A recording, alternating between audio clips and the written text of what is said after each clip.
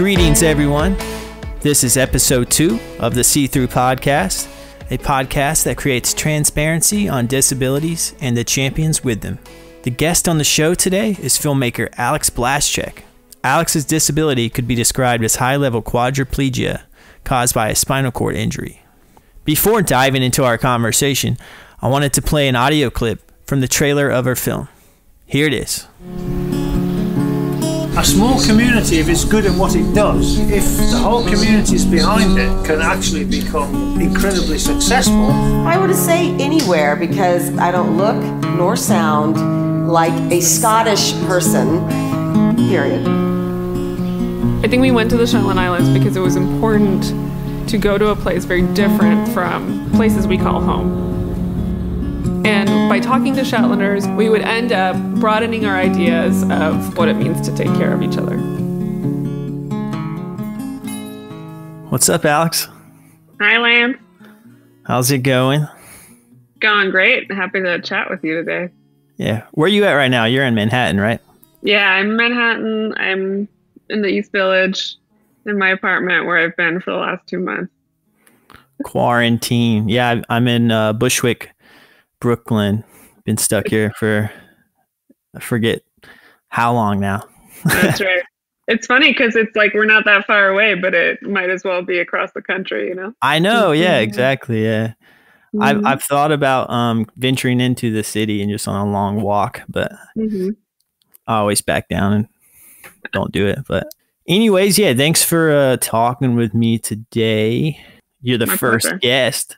So, woohoo. Woohoo, what, a, woohoo. what a pleasure. let's give some context to the listeners. You just made a film, a documentary. Um, can you kind of give them like a short summary of what you what you made? Sure. The short film's called "Speaking Nearby: Conversations in Shetland." Um, we it's two years in the in the making. Um, it's a documentary about a trip that I took with um, all of my closest people to uh, the Shetland Islands, which are this remote group of islands north of Scotland. And it's a documentary kind of about the people we met there and um, how they talk about making their community in a really weird spot because it's really far away. It's really hard to get to. It takes a 15 hour ferry ride to get to there. So um, yeah, but people make their home there and they're really awesome. So we wanted to document that.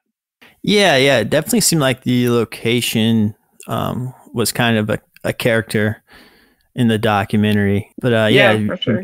it definitely provided for some uh, visually pleasing images. Yeah, it's like all all like beautiful uh, stormy seas and um, foreboding cliffs and everything. Yeah, it was cool because our, our when we went, we um we traveled. You know, I'm I'm a wheelchair user, and we also traveled with a one year old baby, and there was eleven of us.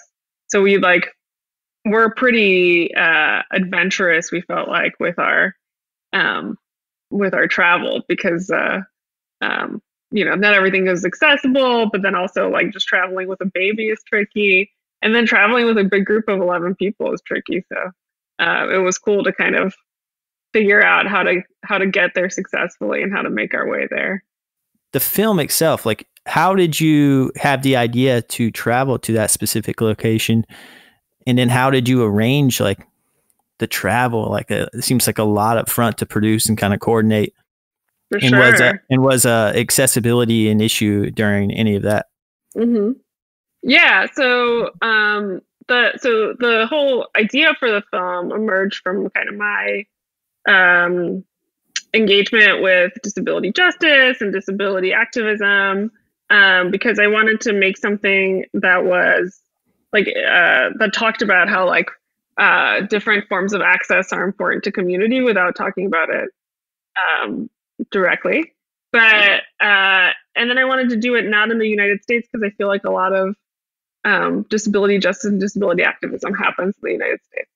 Um, but it's also like hard to go somewhere where you don't speak the language and expect people to share things with you, uh, either through a translator or whatever. And it also has these kind of weird colonialist vibes. So the Shetlands were a really good kind of starting point because they're in an English speaking country. They're really well off because of Northern oil. Um, so it's this community that isn't, you know, we weren't feeling like we were uh, invaders or re- repeating some sort of colonialist narrative, but it is really far away and it is a unique um, culture that combines kind of Nordic culture with with Scottish culture, and so it, it seemed like a good fit. Um, and I had just heard about the Shetlands through my own, I don't know, uh, knowledge of the world. There was there's a there's a um, mystery show called Shetland that put them on my radar too. So you know, nice. it felt like a good spot. mystery show. Yeah, yeah, like a who you know, like a British whodunit kind of thing. Ah. Uh, yeah, yeah, yeah.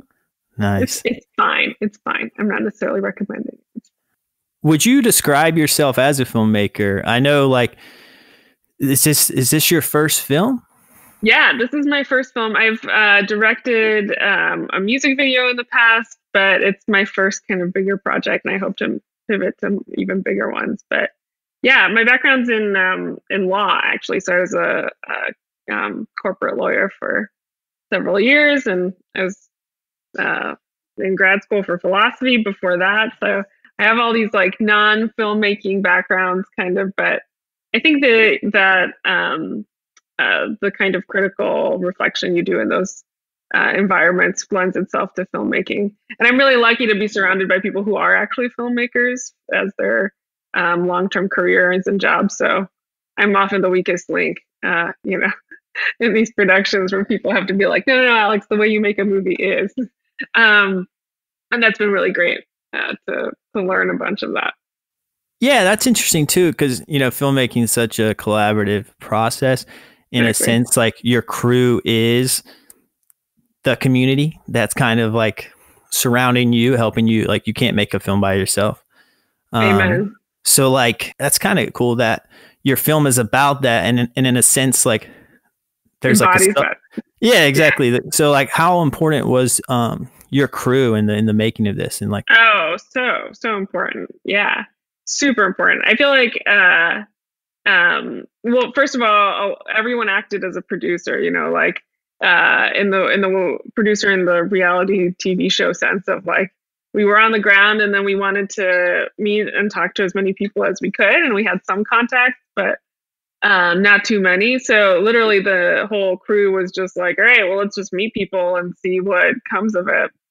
And that was um, what would have been impossible if it was just a couple people. So, uh, and it also meant that like, you know, the person who was um, holding the camera was also doing interviewing, or the person who was holding the sound, the mic was also uh, we're helping with camera stuff, we're helping with setting up the the space when we were filming.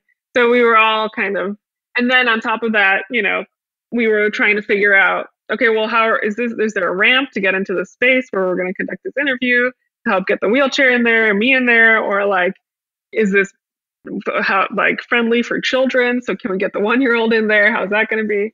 Um, so a lot of um, communal uh, problem solving and you know it's a it was a it's a big group of people because it's 11 but like in terms of films it's like a tiny you know it's a tiny group too so we were able to uh, get all hands on deck yeah yeah small crews are in my opinion are are better because you're yeah. you're t- you're like become tight with everyone and you know yeah. everyone's like strengths and that's kind of totally. like, as a whole you know it just works smoother and better i think totally and we did a cool thing before we started even we um I sent uh, everyone on the crew like a little packet of um, critical disability theory readings and like just theory about access and how to talk to people. And so we all like read the same theoretical background stuff and um, and the our whole the movie's called Speaking Nearby because there's this concept in anthropology um, that Trinh Minh-ha came up with called Speaking Nearby, and it's this idea that you like don't when you know when you're doing an interview with a subject you're not like tell me about this thing that i want to learn about but you just kind of like get to know someone and then it naturally emerges that nearby somewhere that topic's going to come up so true true. Um It's yeah. kind of what I'm trying to do here. So hopefully, I don't uh, right. ask you those questions in that form in that format. Yeah, I mean, uh, it's sometimes, sometimes, it's, sometimes it's important to ask straight up too. You know, so however yeah. however it comes up, yeah.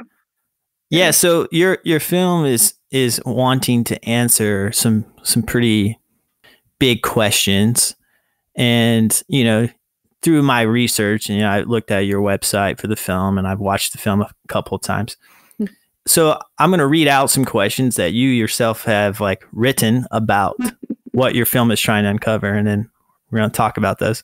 So Alex's film seeks answers to some big questions like how do our vulnerabilities through physical frailty, aging, or social marginalization actually make our community stronger? What are more radical ways we can practice inclusion and reform our community work? How do differences in geography and history subvert our expectations of how people make lives together? All right. So, yeah, we'll go through, we'll talk about those. And then, uh, but mainly, did you find the answers to, to these questions?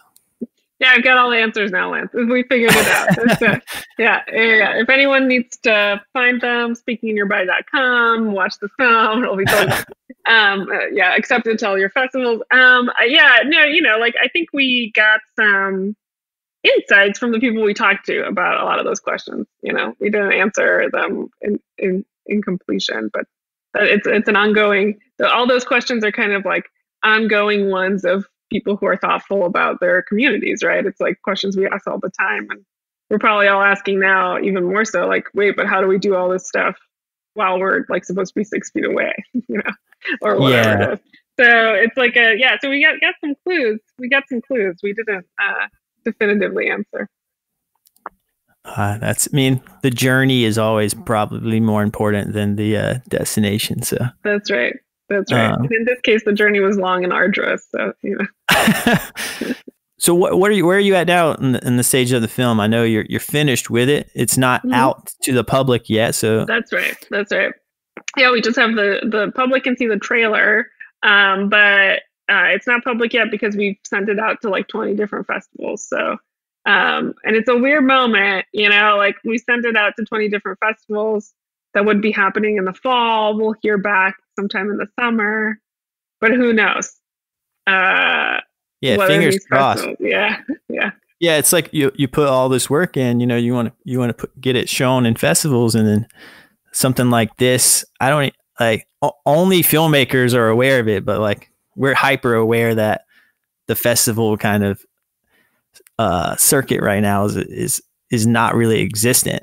That's right. That's right. Yeah. So if you made a film and finished it in the past uh, this this year, basically, you're probably having to make a decision: Do I submit now, or do I hold on to this film mm-hmm. and submit it later? And yeah, it's a weird time. Weird time. Um, totally, totally. Yeah, and it's especially like for for hyper uh, small budget, like uh, you know, filmmaking in the kind that was our documentary. It's like uh, we're doing this mostly because we want um, like we think it'll be really important to for for festivals to accept it and people to see it um, because then hopefully we would be able to score some more funding to do something similar on a larger scale so uh, yeah, without that yeah. festival push it's it's hard to know how to do that so it sounds like you want to make more films like this wasn't just like oh i want to do this one thing give it a shot it sounds like you enjoyed it and you're like kind of looking forward to the next one for sure. I mean, it, it, helped to work with such talented people. You know, our editor was great,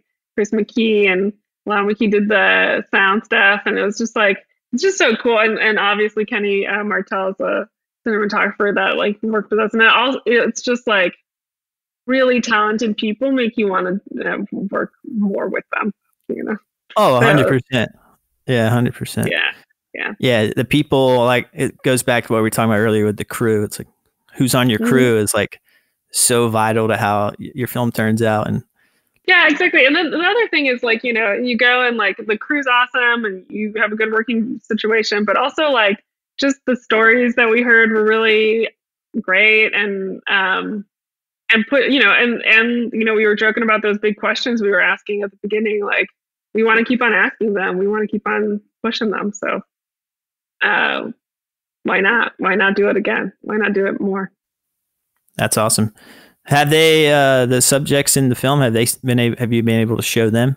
Yeah, actually, we just had a great Zoom call with uh, a bunch of the fo- folks that are in the movie, um, and and it was it was really special because uh, they're all feeling nervous that they've like spoken too much for their whole community, and uh, they're being very cautious about um, not being too representative of all of Shetland, which is you know uh, I think speaks to how kind of thoughtful they all are.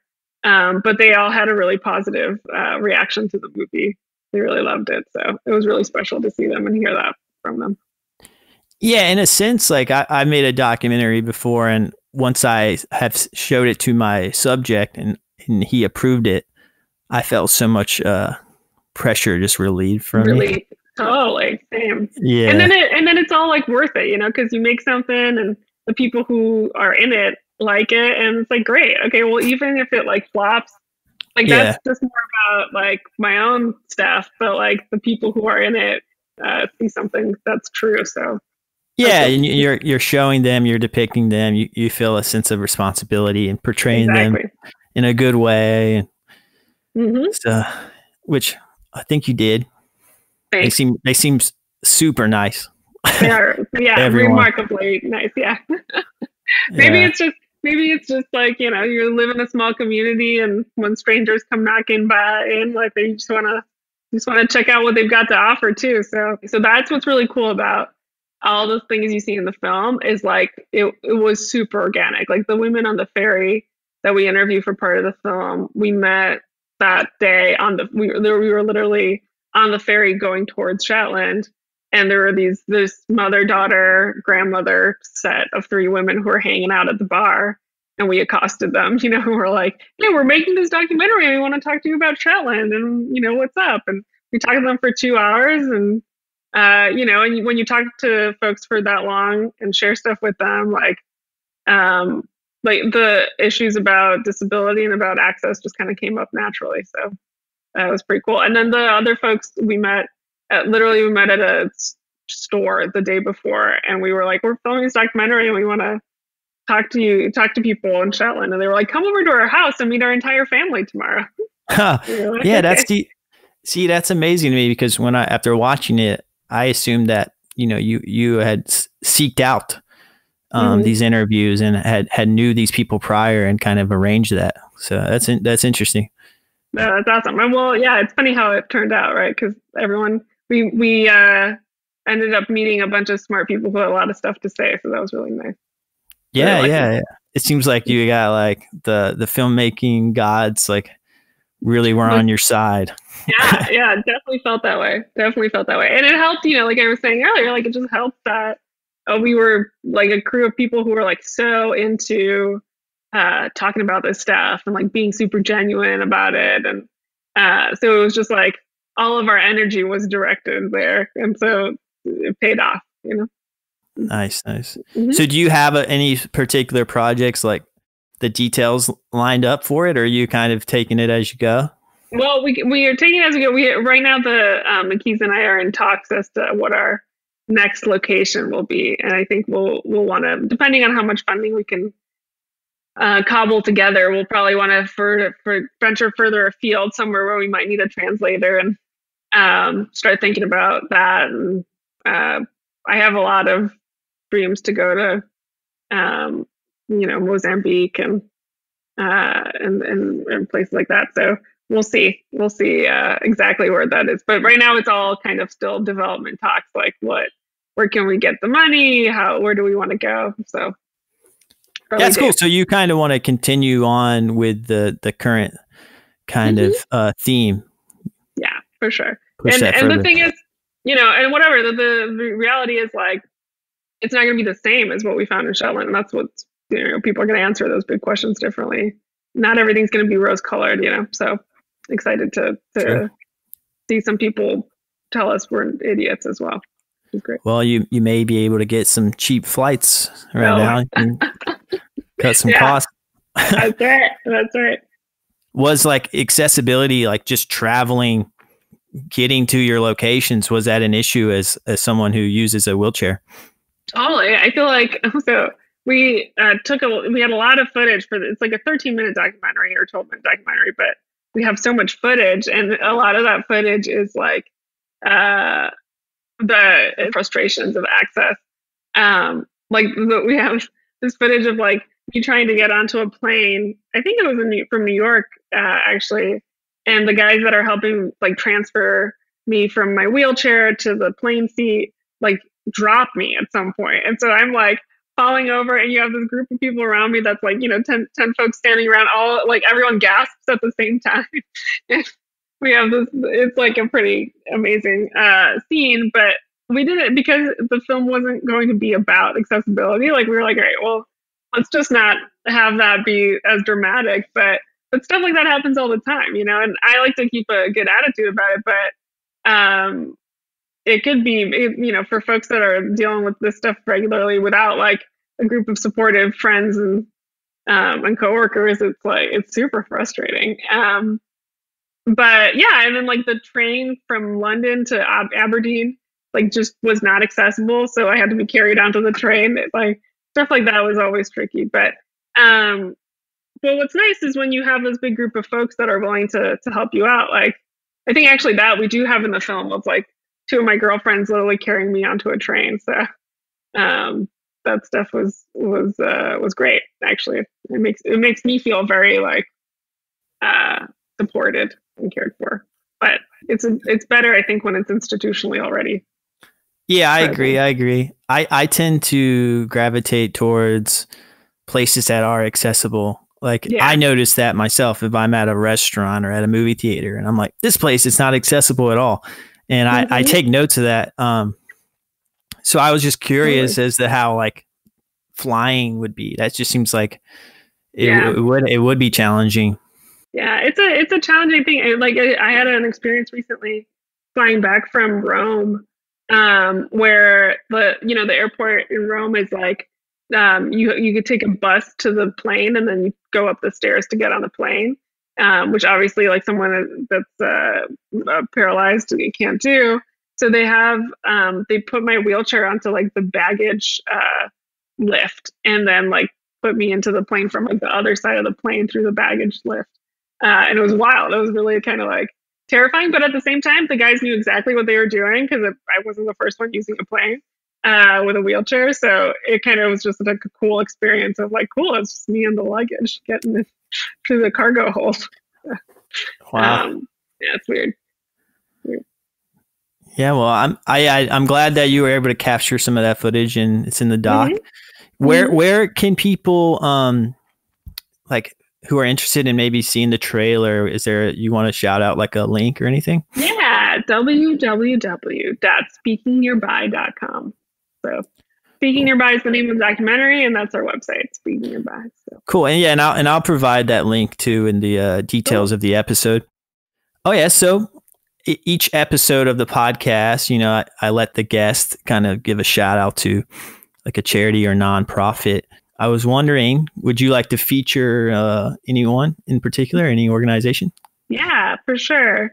Um, I since we've been kind of like talking about disability stuff, I really love this organization called Sins Invalid.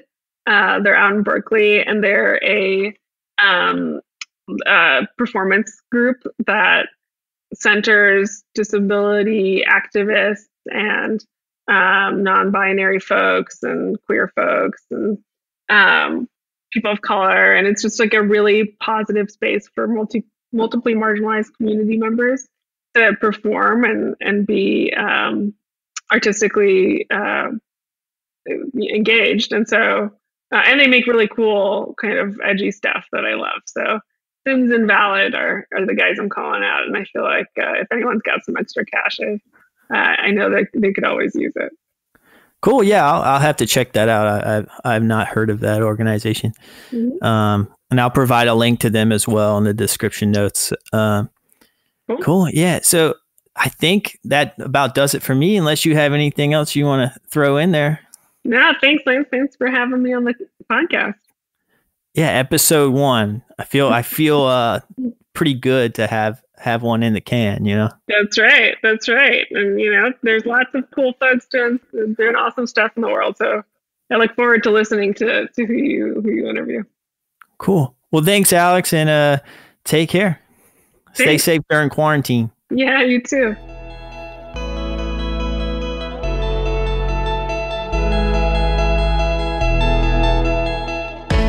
And that's it, everyone. That was my conversation with filmmaker Alex Blaszczuk. She was the first guest on the show. I hope you enjoyed it. To learn more about the podcast, visit seethroughpod.com. There you can learn more information about the podcast, Alex, and her film Speaking Nearby. Thanks for listening. Episode 3 will be your way soon.